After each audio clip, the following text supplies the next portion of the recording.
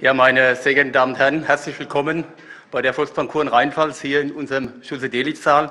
Ich darf ganz herzlich als Gastgeber heute begrüßen den Vorsitzenden der Bechergesellschaft, Herrn Spengler. Spengler, herzlich willkommen hier. Äh, ich darf natürlich auch sehr herzlich willkommen heißen unseren Oberbürgermeister, Herrn Hans-Jörg Eger.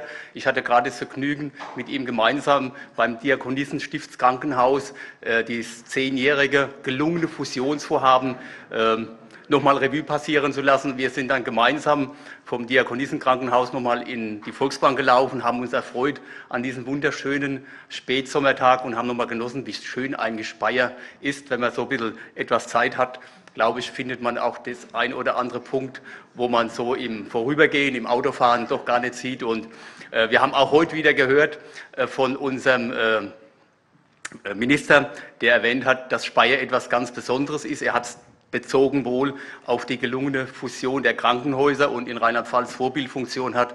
Aber ich glaube, man kann äh, dieses Wort auch ausdehnen insgesamt auf die Stadt Speyer. Und wir können uns alle glücklich schätzen, dass wir in, in Speyer zu Hause sind. Und äh, es ist wirklich eine lebenswerte Stadt, die sich ja auch in den nächsten Jahren noch sicherlich gut entwickelt. Ja, meine Damen und Herren, äh, Sie haben ja heute dieses schöne Thema, wohin steuert die digitale Gesellschaft. Äh, das ist sicherlich auch ein Thema, mit dem wir uns als Bank beschäftigen. Aber gestatten Sie mir bevor Sie sicherlich in die Fachthemen einsteigen, zwei, drei kurze Worte zur Volksbank Kuren Rheinpfalz. Unser Haus feiert in diesem Jahr einen kleinen runden Geburtstag. Wir werden 100 oder sind 150 Jahre alt geworden.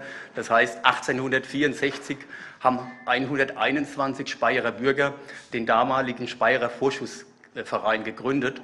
Ähm, wenn man mal rückblickend betrachtet und sich auch die heutigen Zahlen etwas vor Augen führt, glaube ich, dass die Entwicklung sich sehen lassen kann. Mittlerweile haben wir 60.000 Mitglieder, 120.000 Kunden und unsere Bank ist natürlich auch gewachsen durch Fusionen. Ähm, wir haben eine Bilanzsumme von etwas 2,8, 2,9 Milliarden Euro. Und ich glaube, wir sind ein Institut, das einen sehr, sehr hohen realen wirtschaftlichen Bezug hat. Das erkennt man an zwei Kennzahlen. Äh, wir haben insgesamt zwei Milliarden Kundeneinlagen und, und in unserem Kreditbuch, also was wir an Forderungen rausgegeben haben an den Mittelstand, an die privaten Bauherren, das liegt bei 2,2 Milliarden. Also wir haben aus diesen Relationen, das können Sie sehr leicht erkennen, wir hatten noch nie die Notwendigkeit, uns irgendwo an der Börse zu engagieren und die ein oder andere Rendite über mehr Risiko einzukaufen. Darüber sind wir sehr glücklich. Wir haben mittlerweile 37 Filialen und unser Geschäftsgebiet beginnt im Westen in Neustadt. Wir sind in Lambrecht noch in Tal, das geht fast runter bis nach Germersheim.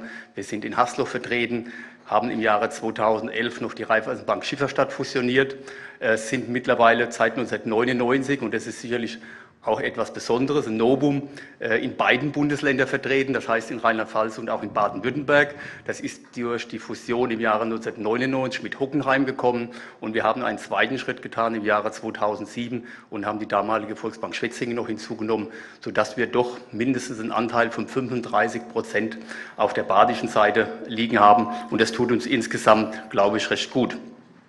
Ja, welchen Stellenwert hat denn die Volksbank Kuren Rheinpfalz äh, im Land Rheinland-Pfalz, im Bundesgebiet? Von der Größe her sind wir in Rheinland-Pfalz die zweitgrößte Genossenschaftsbank. Da liegt jetzt die Landeshauptstadt in Mainz noch vor uns. Und im Bundesgebiet zählen wir zu den größten 20 Genossenschaften. Ich glaube, das wird auch der Wirtschaftslage und insgesamt dem Geschäftsgebiet, was sich ja doch auch ein bisschen reinstreckt, in den südlichen Bereich der Rhein-Neckar-Metropolregion insgesamt gerecht. Wie kommen wir dazu, dass wir heute Gastgeber sind für die Bechergesellschaft?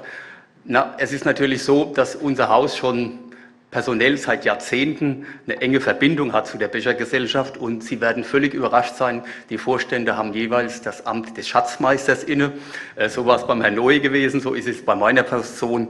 Und naja, Sie kennen ja auch die Zinslandschaft. Im Moment hat es der Schatzmeister nicht ganz einfach. Der Herr Draghi hat die Zinsen nach unten geschleust. Äh, zum Unbillen eigentlich äh, von Deutschland. Wir bräuchten in Deutschland ein anderes Zinsniveau. Das würde ich persönlich eher bei zwei Prozent Euribor sehen und im langfristigen Bereich zwischen drei und vier. Das Gegenteil ist der Fall. Wir haben eine Nullzinspolitik. Äh, wir Banken bekommen mittlerweile, wenn wir Geld anlegen bei der EZB, Minuszinsen. Ähm, also wir haben japanische Verhältnisse und ich bin der festen Überzeugung, meine Damen und Herren, es wird sich in den nächsten vier Jahren nicht ändern. Äh, das ist eine klare Aussage. Wir befürchten sogar, dass der Herr Draghi äh, spätestens im nächsten Jahr doch beginnen wird, mit Staatspapieren aufzukaufen. Und das wird das Zinsniveau auf Dauer niedrig halten. Also da haben wir schon damit zu kämpfen. Ich glaube, der genossenschaftlichen Verbund äh, und wir haben mittlerweile die Volksbank Kuren Rheinpfalz, ich sage persönlich auch immer ganz gerne die Volksbank Speyer. Äh, wir haben mittlerweile einen Anteil von 1% an der DZ Bank in Frankfurt und zum Verbund gehören noch namhafte ähm, Institutionen wie zum Beispiel die Union Investmentgesellschaft, die RNV, die Bausparkasse Schwäbisch Hall.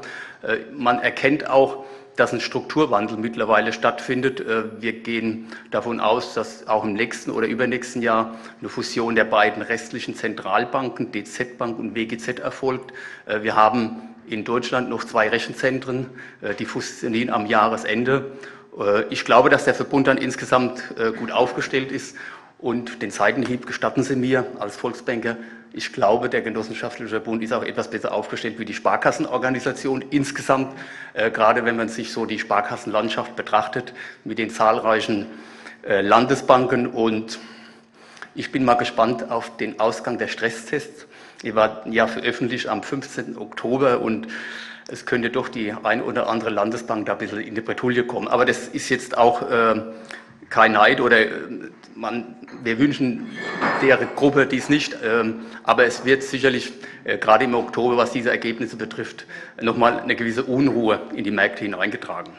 Ja, meine Damen und Herren, welche Herausforderungen, und da komme ich eigentlich auch fast zu dem Thema, wo Sie heute haben, welche Herausforderungen hat denn eine Regionalbank wie die Volksbank, da können wir auch gerne die Sparkassen mit dazu nehmen äh, in der heutigen Zeit. Ich habe es ja schon mal angesprochen mit den Niedrigzinsen. Das tut uns äh, natürlich sehr, sehr schwer. Sie können sich ausrechnen, wir geben Darlehen mittlerweile unter 2 Prozent.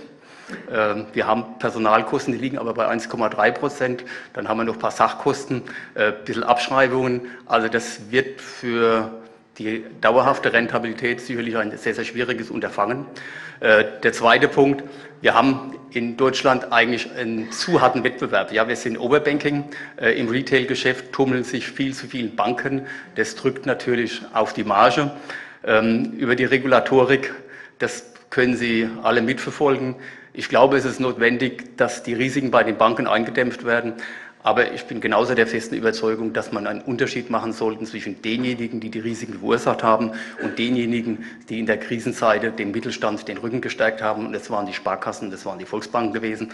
Leider kommt diese Botschaft oftmals in Brüssel oder bei der EBA in, in London nicht immer an. Äh, wir müssen uns damit beschäftigen, wir müssen es umsetzen. Aber glauben Sie mir, es bindet erhebliche Ressourcen, ob finanzieller Art, personeller Art. Es belastet uns mittlerweile ein sehr, sehr interessantes Thema und auch für uns vom Aufwand ist natürlich der Verbraucherschutz. Ähm, manchmal hat man den Eindruck, wenn wir eine Wertpapierberatung durchführen wollen und sie, man kann eigentlich keine Vermögensbildung mehr ohne eine vernünftige Wertpapierberatung machen. Natürlich gab es da auch schwarze Schafe, aber wir haben eher den Eindruck, dass die durch den Verbraucherschutz der Bürger entmundigt sind. Das ist eine ein schwieriges Unterfangen für uns und bedeutet natürlich auch wiederum einen sehr großen Aufwand. Und der letzte Punkt, was uns natürlich beschäftigt, und da sind wir beim Thema von Ihrer heutigen, vom Seminar, das ja heute und morgen stattfindet, ist natürlich die Frage der Digitalisierung. Äh, das Internet nimmt zu. Äh, wir haben die mobilen Endgeräte. Äh, wir selbst haben uns darauf eingerichtet. Wir haben ständige Veränderungen in unserer Homepage. Es gelingt uns mittlerweile sogar, dass wir direkt online abschließen können, ein Konto, man kann einen Kleinkredit bei uns aufnehmen, man kann Wertpapiere kaufen, alles ohne den lieben Mensch, ohne unsere Mitarbeiter. Ähm, ich bin sicher, dass wir in einem halben oder in einem Jahr sogar eine Baufinanzierung per Online anbieten können. Also das ist eine Tendenz, meine Damen und Herren, die ist nicht mehr aufzuhalten. Ähm, bedeutet natürlich auch starke strukturelle Veränderungen, sowohl in der Bank selbst wie auch bei den Mitarbeitern. Und äh, es wird sicherlich eine spannende Diskussion geben, wie sich die Filialpolitik aufgrund dieser Digitalisierung auswirken wird. Aber ich glaube, äh, das ist nicht zu ändern. Ähm, ich habe gerade noch nachgelesen, es gibt einen schönen Satz, das hat mal Bill Gates gesagt vor 20 Jahren. Wir brauchen Banking, aber keine Bank. Ähm, also da haben wir es nicht leicht. Das war von meiner Seite mal ein kurzer Einstieg äh, auf Ihr Thema heute. Äh, Sie sind herzlich eingeladen hier bei der Volksbank. Ich glaube, heute Abend findet noch ein gemeinsames Essen statt und morgen sind Sie auch wieder da. Kommen Sie rechtzeitig. Wir haben in Speyer den Bauernmarkt, dass Sie noch einen Parkplatz bei uns erwischen. Ähm, ich bitte, haben Sie Verständnis, dass ich heute nicht teilnehme oder nicht zuhöre. Meine Frau hat mir eine Woche Urlaub verordnet und den äh, will ich morgen auch antreten und dann hat man noch das eine oder andere zu tun. Also, meine Damen und Herren, ich wünsche Ihnen eine schöne, eine spannende Veranstaltung hier in der Volksbank Rheinpfalz. Interessante Gespräche, interessante Vorträge und ein gutes Gelingen Ihres Seminars. Vielen Dank.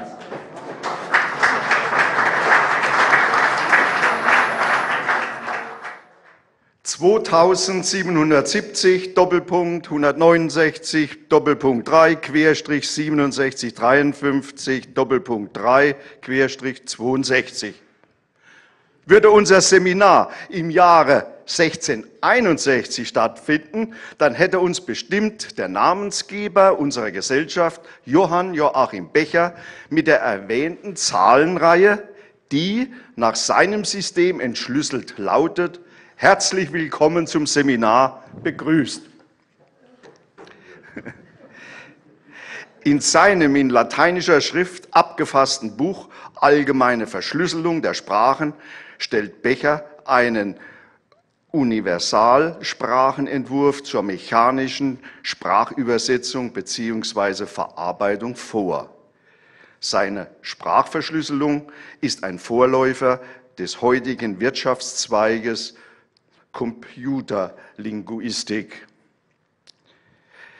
Der wissenschaftliche und technische Fortschritt im Bereich IT in den zurückliegenden 353 Jahren, also von Bechers Datenverarbeitung zur heutigen Wissenschaft der Informatik, hat unser Mitglied, Herr Professor Reinermann, bewegt, das heutige Seminar Wohin steuert die digitale Gesellschaft vorzuschlagen und zu organisieren.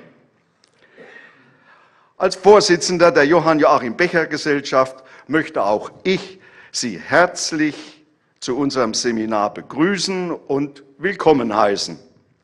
Ich freue mich über das große Interesse an dem Thema und dass es gelungen ist, dass wir mit unserer heutigen Veranstaltung als Partner des Wissenschaftsjahres 2014 aufgenommen wurden. Besonders begrüßen möchte ich die Referenten und Moderatoren unseres Seminars, die Herren Professor Dr. Karl Böhret, Professor Dr. Dr. Klaus König, Fabian Lorenz, Professor Dr. Jörn von Lucke, Stefan Nietzsche, Professor Dr. Heinrich Reinermann. Einen besonderen Gruß auch an den Oberbürgermeister der Stadt Speyer und Vorstandsmitglied unserer Gesellschaft, Herrn Hans-Jörg Eger, an den Altoberbürgermeister und Ehrenvorsitzenden unserer Gesellschaft, Herrn Dr. Christian Roskopf, an den Europaabgeordneten AD, Herrn Jürgen Kreuzmann, an den Leiter des Bürgeramtes AD der Stadt Heidelberg, Herrn Rudi Lerche, und an den am weitesten angereisten Teilnehmer, nämlich aus Zürich, Herrn Markus Scheurenbrand. Und last not least auch einen besonderen Gruß an die Vertreter der örtlichen Presse und an die Mitarbeiter vom offenen Kanal Speyer unter Leitung von Herrn Wolfgang Schuch, die über unser Seminar berichten werden. Gerne hätte ich auch Herrn Professor Waldemar Schreckenberger hier begrüßt. Leider kann er wegen Erkrankung an unserem Seminar nicht teilnehmen. Ich wünsche ihm von hier aus alles Gute und eine baldige Genesung. Bereits zu Beginn unserer Veranstaltung möchte ich mich recht herzlich bei dem Organisator unseres Seminars, Herrn Professor Dr. Heinrich Reinermann, für seine viele Arbeit und Kontaktherstellung zu den Referenten und beim Hausherrn, Herrn Rudolf Müller, Vorstand der Volksbank Kur und Rheinpfalz EG, für die Verfügungstellung der Räumlichkeiten und des Services bedanken. Kein anderes Technologiefeld hat die Wirtschaft einerseits und den Alltag der Menschen andererseits in den letzten Jahren so verändert wie die Informations- und Kommunikationstechnologie. Auch für die Zukunft gehen von ihrer weiteren Entwicklung und Verarbeitung viele Chancen aus. Als Querschnittstechnologie birgt sie zudem wirtschaftliches Potenzial für zahlreiche weitere Branchen. Die neuen Technologien werden in Zukunft noch mehr in unser Umfeld, wie zum Beispiel bei der Arbeit, Freizeit, Kontaktpflege, Gesundheit, Auto, Bildung und Sicherheit eingreifen. Die Autoren Marcel Rosenbach und Holger Stark beschreiben in ihrem Buch Der NSA-Komplex die Entwicklung wie folgt. Eine Informationsrevolution fegt durch die Welt, die so radikale Veränderung erzwingt wie einst die Entwicklung der Atombombe. So wie die Kontrolle der industriellen Technologie einst der Schlüssel zu militärischer und ökonomischer Macht während der vergangenen zwei Jahrhunderte war, wird die Kontrolle der Informationstechnologie der Schlüssel zur Macht im 21. Jahrhundert. Ich bin nun gespannt auf die Sichtweisen unserer Referenten. Ich darf nun Herrn Professor Reinermann bitten, mit der Moderation und Einführung in das Seminarthema zu starten. Dankeschön.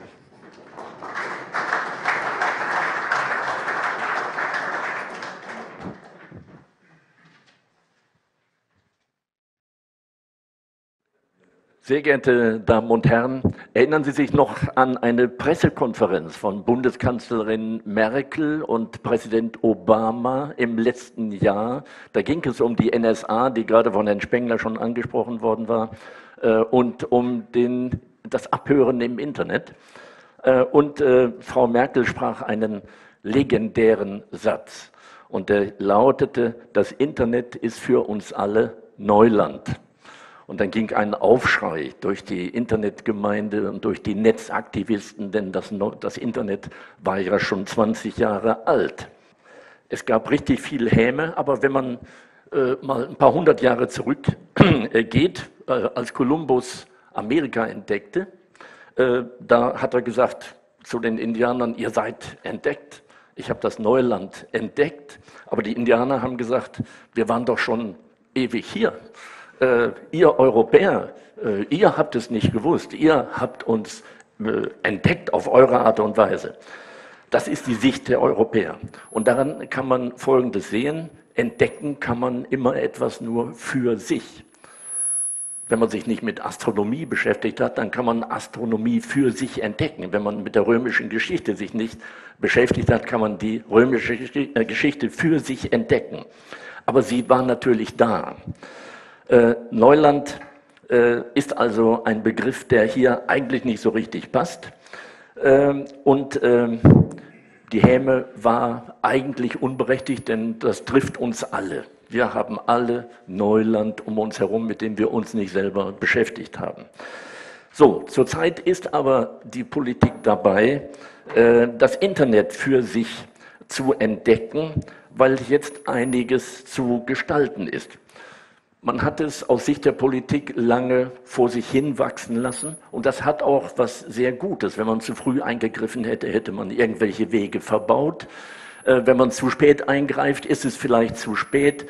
Äh, ist das der richtige Zeitpunkt? Wir wissen es nicht genau, aber es ist jedenfalls der Zeitpunkt, nicht nur in Deutschland, auch in Europa, auch international, dass die Politik das Internet für sich entdeckt. Und es will, die Politik will das Internet gestalten.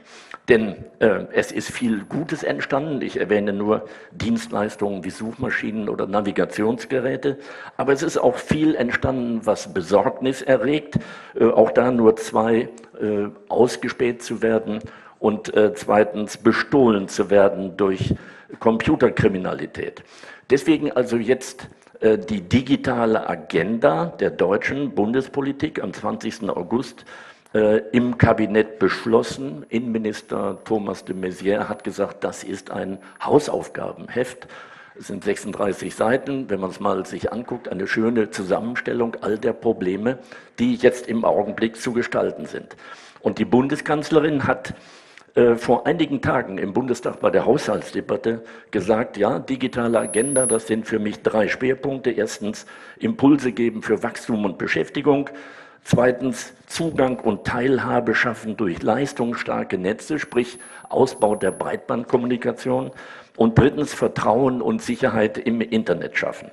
Und das Ganze soll im Dialog mit Wissenschaft, Wirtschaft und Gesellschaft geschehen, also mit uns, äh, die wir hier zusammengekommen sind. Und deswegen ist unser Seminar auch ein Bestandteil dieser digitalen Agenda und, wie Herr Spengler schon gesagt hat, auch des Wissenschaftsjahrs des Bundeswissenschaftsministeriums.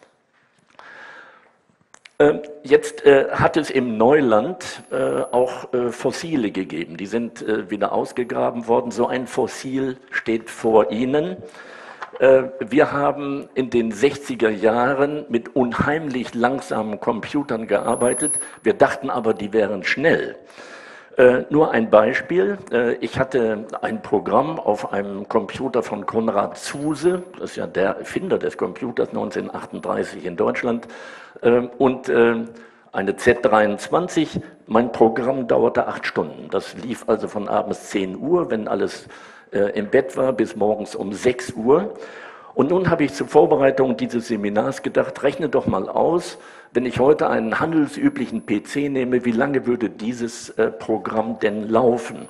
Und dann kommt man sofort, ja, wir haben ja technischen Fortschritt, äh, das wird wohl nur eine Sekunde sein.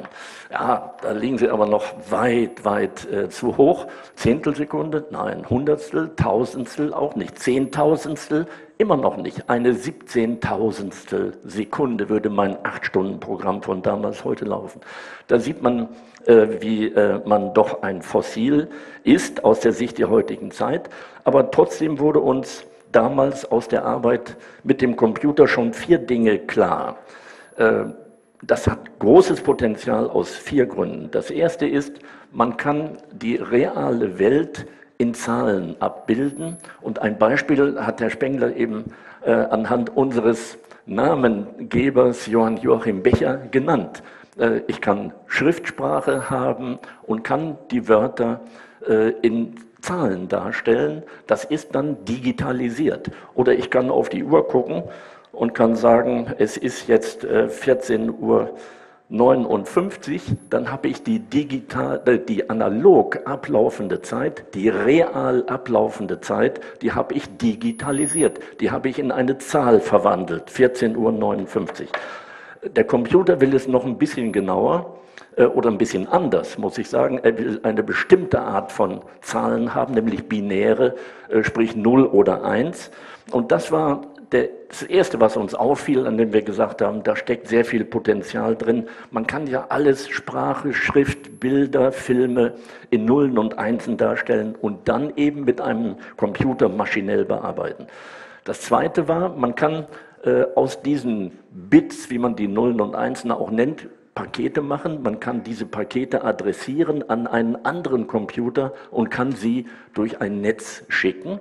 Und das Dritte, dieses Verschicken von Paketen im Netz verläuft mit der Geschwindigkeit des elektrischen Stromes. Und der hat eben 300.000 Kilometer pro Sekunde an Tempo. Das heißt siebeneinhalb Mal pro Sekunde um die Erde. Das heißt, ob ich ein Buch aus einer Bibliothek in Stockholm auf meinen Bildschirm holen will oder ob ich mal eben gucken will, wie viel Strom eine Solaranlage äh, auf der Oper in Sydney produziert, das alles habe ich sofort in Echtzeit neben mir hier auf dem Tisch. Und das vierte, die Geräte waren damals schon winzig, wie wir dachten, aber sie sind natürlich winziger geworden. Man spricht heute von Hochleistungsrechnern im Visitenkartenformat oder das neueste mit Apple Watch äh, Hochleistungsrechner am Handgelenk. Jetzt könnten wir. Ähm, das war äh, klar, dass auch die Hochschule für Verwaltungswissenschaften sich mit diesem Thema beschäftigen muss. Vor allen Dingen Herr König äh, der hier sitzt und den Sie morgen als Moderator erleben werden, hat sich dafür eingesetzt, dass dieses Gebiet äh, an der Hochschule für Verwaltungswissenschaften Speyer auch gelehrt wird. Und als ich meine Antritts, äh, nee, ich muss so anfangen, als Frau Merkel 1993 hier in der Hochschule war, da war sie Bundesministerin für Frauen und Jugend äh, und hat, äh, Sie haben sie wiedererkannt, hoffe ich, und äh, sie hat äh, über die Frau in der Rentenversicherung gesprochen. Da lag meine Antrittsvorlesung über Verwaltungsinformatik schon 20 Jahre zurück. Ähm, und ich hatte über die Chancen der Informationstechnik äh, für die öffentliche Verwaltung gesprochen. Nachher kam eine, die Ehefrau eines Kollegen zu mir und sagte, wissen Sie, wie Sie mir vorgekommen sind? Sie sind mir vorgekommen wie Erich von Däniken. Vielleicht wissen einige von Ihnen, dass das dieser äh, Schweizer Autor war. Herr Scheurenbrand wird ihn vielleicht kennen aus Zürich äh, der sich mit Außerirdischen und ihren Relikten auf dem Globus äh, beschäftigt hat. Ähm, aber auch das ist verzeihlich. Wir können uns immer nur schwer vorstellen, wie sich Zukunft entwickelt. So ging es schon dem Sprecher äh, des amerikanischen Verbandes der Pferdekutschenbauer. Die hatten ihre Jahres Jahrestagung in New York im Jahre 1900. 1900 war das Auto zwölf Jahre alt, 1888 erfunden, Daimler äh, und so weiter. Äh, und da sagte, das ist ja keine Produktwerbung, äh, da sagte dann dieser Sprecher, naja, wer den Nutzen des Automobils leugnet, ist ein Narr. Aber der größte Narr von allen ist, wer deswegen das Verschwinden von Pferd und Wagen voraussagt. So viel zu unseren Fähigkeiten, uns mit äh, technologischem Fortschritt zu beschäftigen. Ich habe Ihnen eine Tischvorlage äh, auf den Tisch gelegt und ich gehe jetzt zu dem Punkt Römisch 2. Ähm, heute geht es ja nicht mehr um Autos, äh, heute geht es um Informationstechnik. Vielleicht ist es sogar so, dass äh, in wenigen Jahren wir uns mit Autos und Informationstechnik beschäftigen werden, wenn wir erst die Roboterautos und die Auto-zu-Auto-Kommunikation haben. Wir könnten das Bild jetzt wieder abschalten. Und ähm, ich will jetzt ähm, versuchen äh, zu betrachten, wie dieses technische Potenzial sich auf Branchen auswirkt. Äh, ich nehme aber nur eine Branche heraus, nämlich das Taxigewerbe und das deshalb, weil Sie das alle aus den Fernsehen der letzten Tage gesehen haben.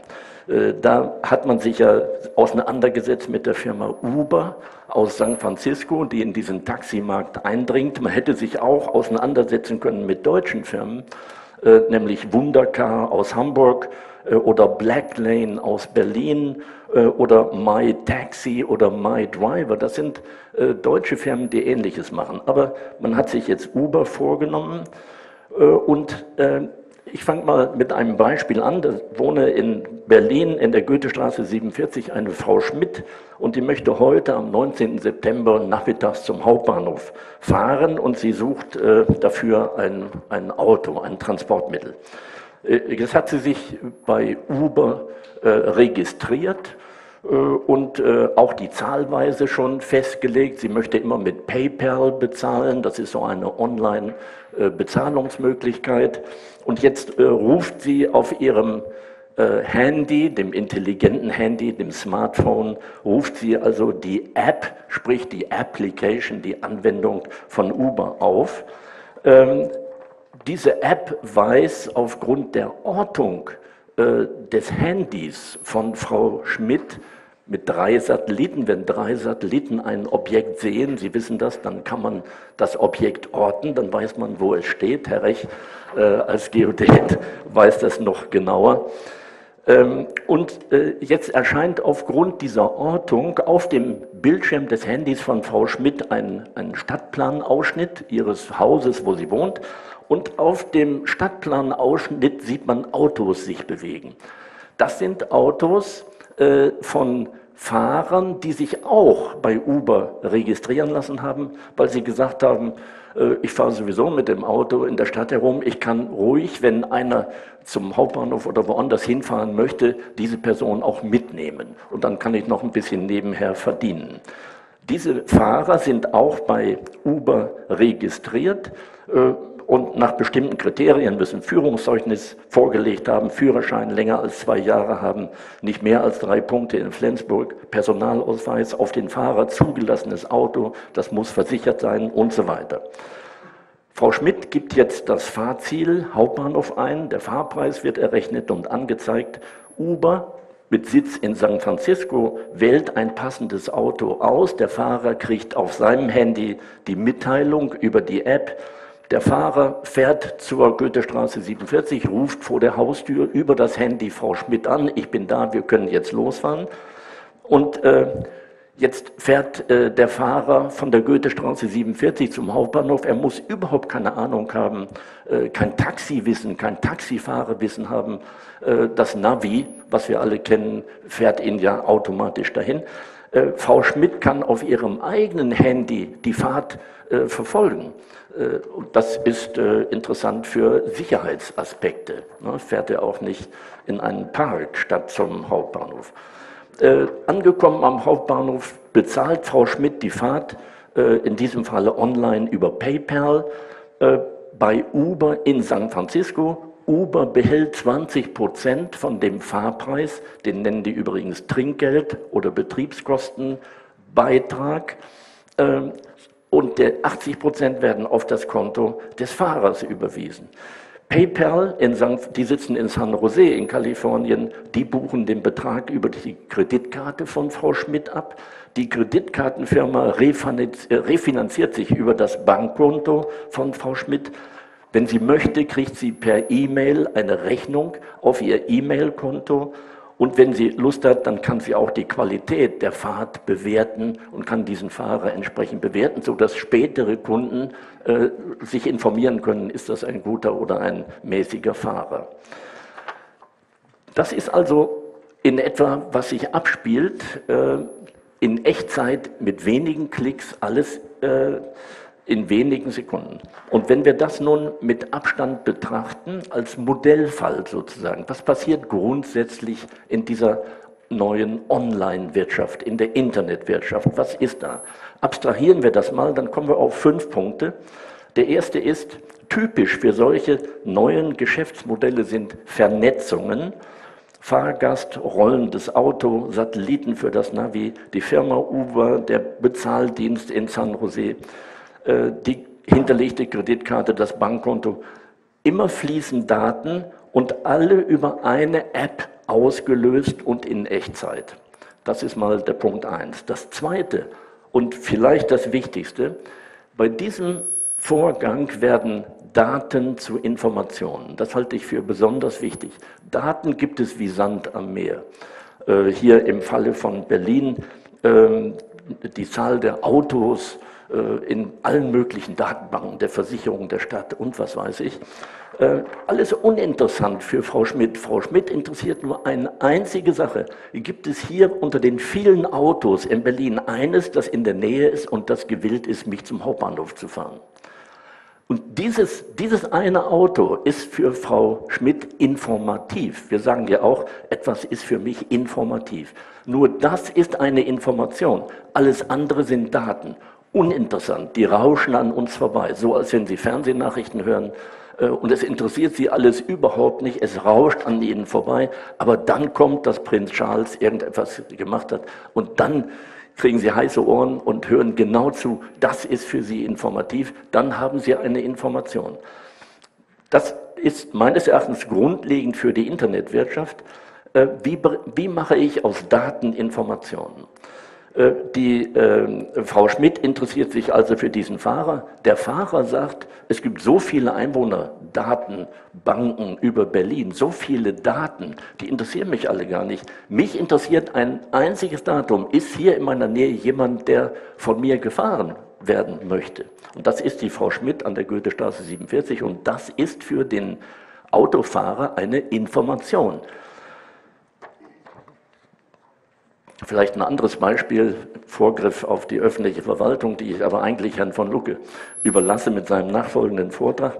In Estland, äh, das ja immer ein bisschen als äh, Vorreiter in Sachen Informationstechnik und Verwaltung gesehen wird, weil alle Leute einen elektronischen Ausweis haben und so weiter. Da gibt es ein Gesetz und dieses Gesetz heißt, dass äh, es einer Behörde verboten ist, Daten von einem Bürger abzufragen, die woanders in der Verwaltung liegen. Und das führt dann dazu, äh, dass ähm, ein Start-up, ein Gründer, der zum Gewerbeamt kommt äh, und seine Firma, seine neue Firma anmelden möchte, äh, in 15 Minuten wieder geht, angemeldet. Warum? Weil der Beamte eine App hat, äh, die von sich aus alle Daten zusammenzieht, die diesem einen Gründer entsprechen. Zum Beispiel hat er Steuerschulden. Dann könnte man ihn nicht, nicht an, genehmigen. Aber das muss nicht der Gründer nachweisen, sondern die Verwaltung ist verpflichtet, aufgrund dieses Gesetzes aus Daten Informationen zu machen. Sie muss von sich aus diese Informationen heranziehen. Das ist also der Clou der neuen Geschäftsmodelle im Internet, sich ausgeklügelte Systeme auszudenken, die Menschen mit diesen komplementären Bedürfnissen zusammenbringen, also wieder zurück zum Mitfahrwunsch und zur Mitfahrgelegenheit. Wie kann ich eine Plattform, sprich die Uber-App, produzieren, herstellen, äh, die äh, aus Daten Informationen macht? Und dazu muss ich die gesamte, ein weiterer wichtiger Punkt, die gesamte Infrastruktur des Internet, die da ist, nutzen also große Rechenzentren, Datenbanken, Satelliten, Sensoren, äh, Webseiten anderer äh, Einrichtungen äh, und so weiter. Die Experten für solche Geschäftsmodelle, die gibt es auch in Deutschland. Ich habe einige eben schon genannt. Äh, Zalando geht jetzt an die Börse. Das sind genauso gute Leute wie die von Uber. Aber in großen Massen sitzen diese Experten in Silicon Valley. Äh, die brauchen sie für solche Geschäftsmodelle, die müssen sich auskennen. Und in Silicon Valley haben sie dann gleichzeitig die Investoren, die wissen genau, wenn wir dort uns umschauen, äh, dann finden wir Geschäftsideen, äh, die wir finanzieren können. Das führt dazu, dass Deutsche in Silicon Valley fahren, wenn sie Geschäftsideen haben, um sie dort testen zu lassen durch Investoren und anreichern zu lassen durch die Informatiker. Und noch ein Punkt, Natürlich sind viele Daten für solche Geschäftsmodelle von Vorteil. Und da haben wir einen Grund, warum, wir werden da ausgiebig drauf kommen, äh, die Internetkonzerne massenhaft Daten speichern. Je mehr Daten sie haben, desto besser können sie daraus Informationen für bestimmte Situationen herstellen. Und das sind die lukrativen Geschäftsmodelle. Der vierte Punkt, äh, man muss natürlich ein Geschäftsmodell machen, äh, das Nachteile der existierenden Branche vermeidet und Vorteile äh, demgegenüber ausweist. Und da können wir uns alle vorstellen, versuchen Sie mal, wenn Sie mit der Bahn nach Speyer zum Hauptbahnhof kommen, ein Taxi zu kriegen, dann wissen Sie schon, was gemeint ist. Äh, Sie müssen die Zentrale anrufen, man muss warten. Äh, die Preise sind relativ hoch. Uber halbiert im Durchschnitt die Taxipreise. Äh, man kann den Fahrer nicht bewerten und so weiter und so weiter. Generell kann man sagen, bessere Dienstleistungen, mehr Auswahl, geringere Preise, das muss ein neues Geschäftsmodell machen, sonst hat es keine Überlebenschance. Und noch etwas ganz Wichtiges, hier dieses Uber-Modell ist äh, Teil dieser sogenannten Sharing Economy. Was, was heißt das? Äh, es gibt immer mehr Menschen, vor allen Dingen wahrscheinlich in der jungen Generation, die sagen, warum soll jeder ein Auto oder zwei oder drei haben? Äh, reicht es nicht, wenn man auch in Autos mitfährt? Es gibt diese Mitfahrzentralen, es gibt die Carshare und diese ganzen Dinge.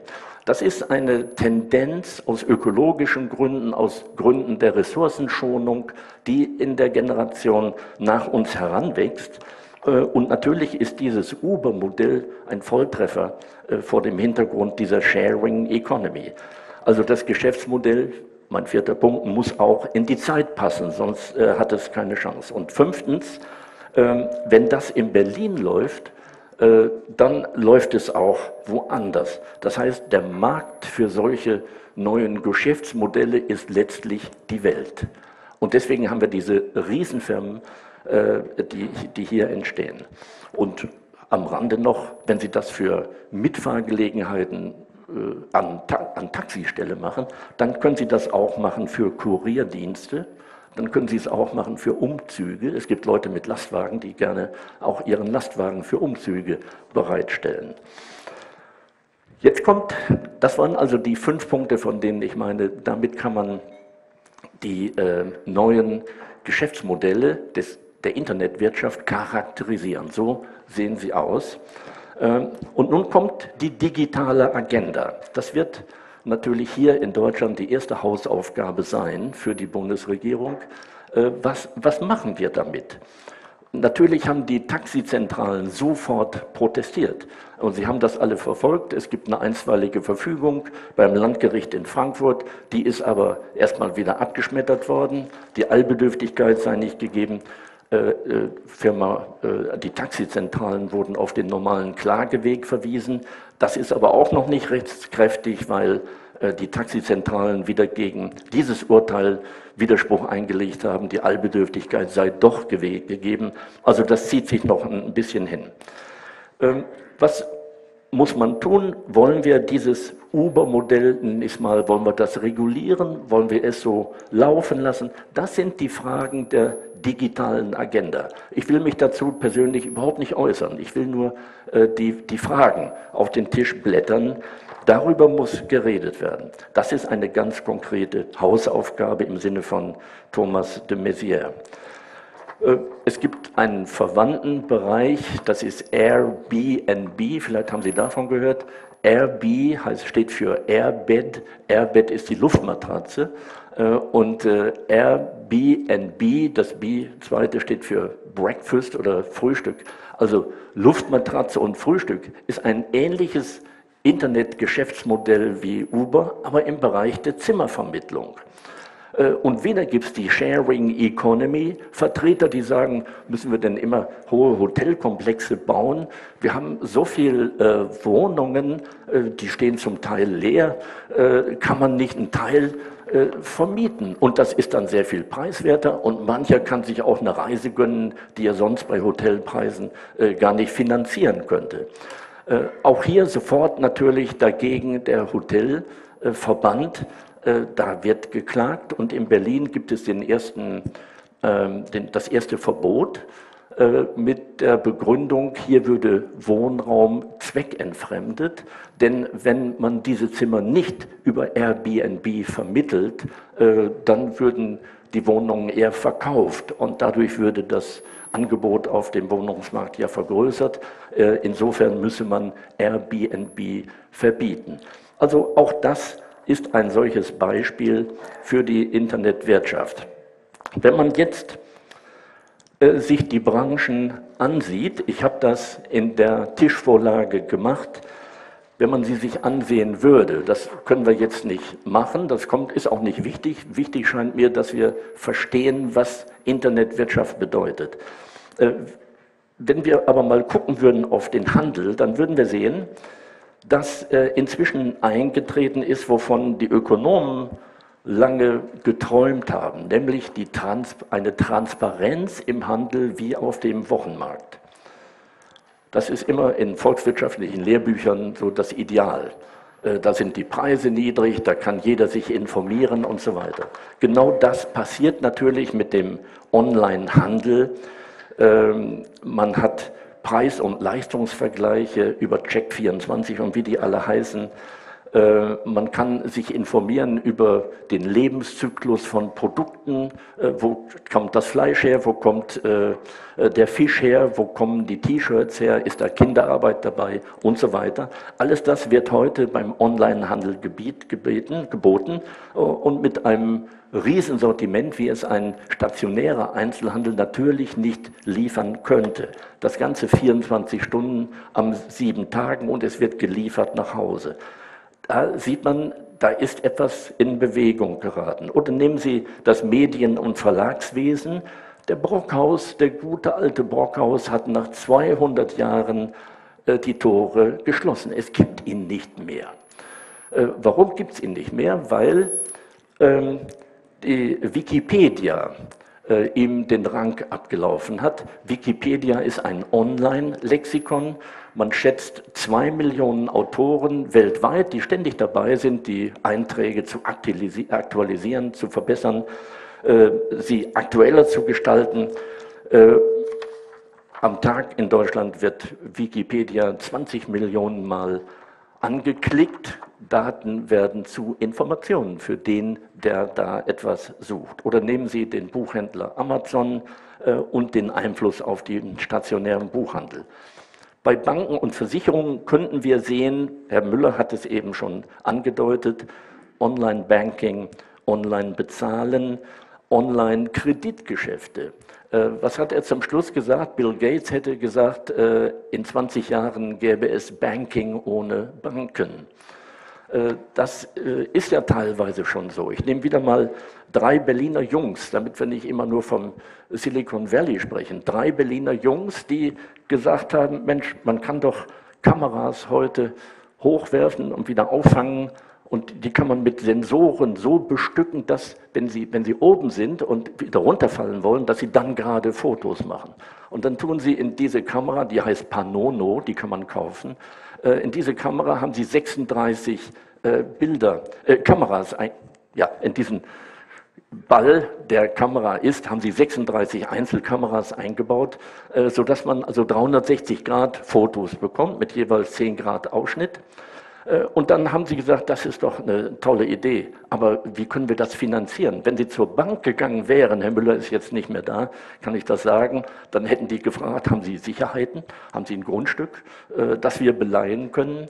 Die haben es anders gemacht, die sind ans Internet gegangen und haben gesagt, hey, wir haben diese tolle Idee, äh, ist jemand von euch bereit, dafür Geld zu bezahlen? Und sie haben innerhalb von wenigen Innerhalb von wenigen äh, Wochen haben sie Millionenbeträge eingenommen äh, und haben das Ding äh, produziert. Äh, sie haben noch was Besonderes gemacht. Sie haben gesagt, die Ersten, äh, die einen Prototypen kaufen, die können uns mit uns in einen Dialog eintreten und können äh, an dem Produkt, an der Entwicklung mitarbeiten. Also da hat man wieder einen Aspekt von Internetwirtschaft. Oder Medizin und Gesundheitswesen eine riesige Spanne. Auf der einen Seite die SAP in Waldorf, die gerade jetzt seit wenigen Wochen äh, krebserkrankten Mitarbeitern die Möglichkeit bietet, äh, ihre Tumorgene, äh, wie nennt man das, sequenzieren zu lassen. Mit dem neuen Datenbankverfahren der SAP dauert das nur drei Minuten. Äh, und dann sich Therapievorschläge erarbeiten zu lassen durch weltweite Recherchen in den medizinischen Datenbanken. Das äh, läuft hier bei der SAP. Auf der anderen Seite Einfluss von Internetwirtschaft in Deutschland auf den Gesundheitsmarkt. Elektronische Gesundheitskarte ist jetzt seit zwölf Jahren äh, im Gespräch.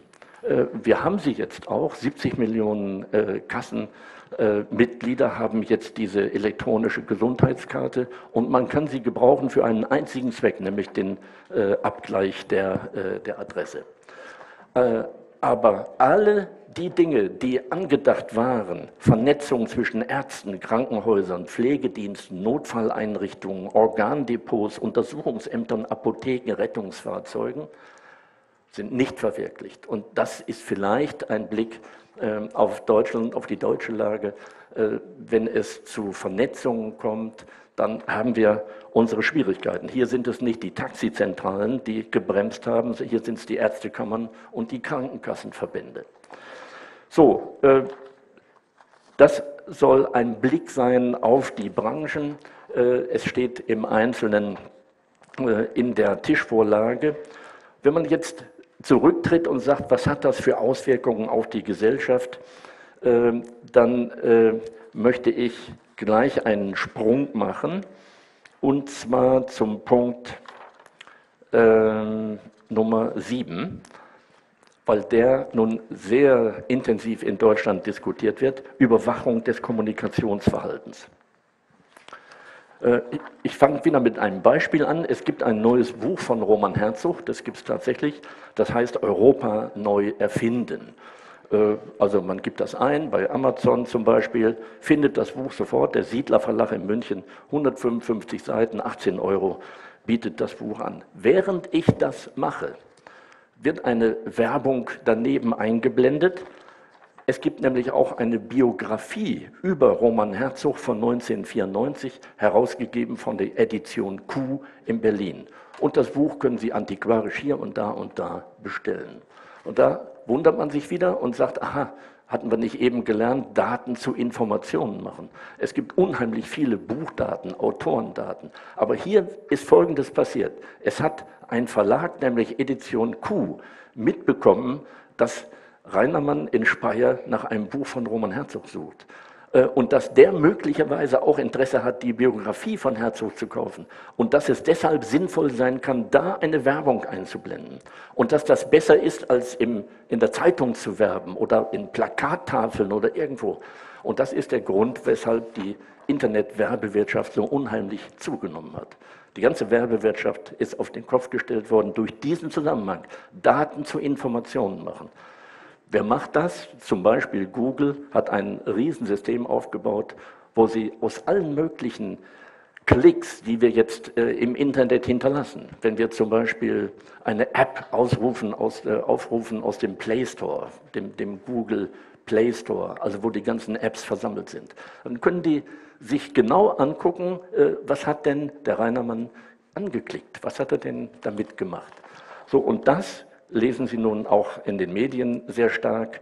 Das ist ja der Grund, dass wir Spuren im Internet hinterlassen äh, und dass Persönlichkeitsprofile erstellt werden.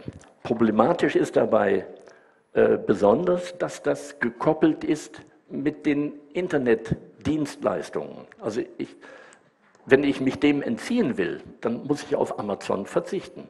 Das kann ich ja machen. Wenn ich aber die schönen Dienstleistungen von Google, Amazon nutzen will, dann ja, äh, machen die mit meinen Daten auch diese Dinge. Ich habe eigentlich keine Wahl. Da, da will man, glaube ich, ansetzen. Wir werden das morgen von Herrn Ronellenwitscher genauer hören. Was, womit muss ich jetzt rechnen? Wenn meine Spuren so festgehalten werden im Internet, dann muss ich erstens damit rechnen, dass mir dauernd Angebote gemacht werden, äh, die auf der Analyse meiner